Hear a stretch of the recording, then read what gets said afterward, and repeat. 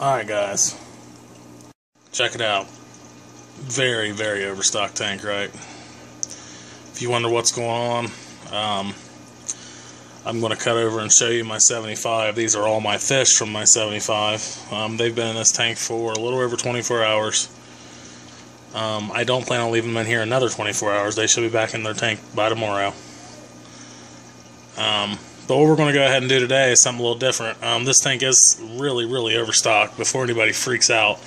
Like I said, they've been in here about 26, 27 hours right now. Everybody's fine. I've had no deaths. Um, but we're going to go ahead and check the water just to see, you know, if, um, you know, what the water looks like. If I need to do a quick water change or, or what I need to do. You know, like I said, there there is some changes going on with my 75. I told you guys that in the previous video that I was going to be doing some new stuff with it. Um, I ended up deciding to move all the fish out of it, and I will have a full video on that of me breaking it down, setting it back up, and everything I did. Um, so I'm gonna cut over, let you guys check out what the 75 looks like right now, a little sneak peek, and then I'm gonna cut back and we're gonna test this water just to see, you know, what the levels are at with all these fish in here. Stay tuned, guys. I know, it looks different, don't it? Well, here's your quick 75. Um, I'm not to give too many details away. Make sure you guys subscribe. I will have a video up of me breaking it down and putting it back together, so we'll get back to what we were doing. Alright guys, so I got all my water set up here, and we're to go ahead and test for everything.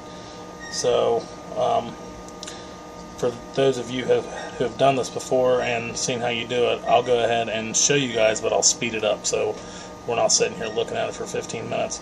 Um, I'll go ahead and test for the nitrates, the nitrite, the ammonia, and the pH, and then um, I will cut it, and then we can watch it. I'll speed it up for you guys so you can see the water colors changing, and then we'll see what the results are, and we'll talk about that.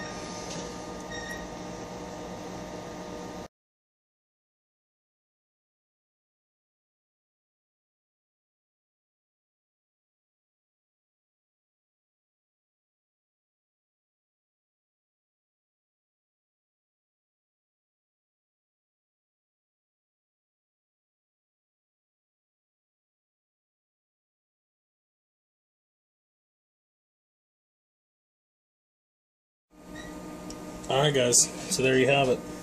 Um, my nitrates are sitting, I'm going to call that about 40 parts. Maybe 30. Maybe in between 20 and 30. Um, it actually looks a little bit lighter on the screen than it actually is. It looks a little darker in person. So we'll call it about 30. Zero nitrite, um, zero ammonia. My pH is a little high. It's sitting about an 8, maybe an 8.1. Um, my water is hard. I set it about 7.5 to 7.8 normally. So uh, I'm going to do a water change on this tank and, you know, call it good. I, I, with all the fish that are in there, I think everything's fine. Um, so I just want to show you guys that even with a heavily stocked tank, if you have proper filtration, that you can still achieve, you know, your goals of lower or no nitrite, no ammonia, and lower nitrates. Um, it's been about two weeks since I've done a water change on the tank, and it's only at 30 parts. So if it had a water change, I'd get down to you know 10, 15. Um, I think our water has about um, uh, I want to say our water sits at about 10. So you know the lowest I could get is 10. But there you go, guys. Um, you know, hope somebody learned something from this. Like I said, always test your water. These kits, they're a little expensive, but they're a must-have. They're, you know, you got to have these.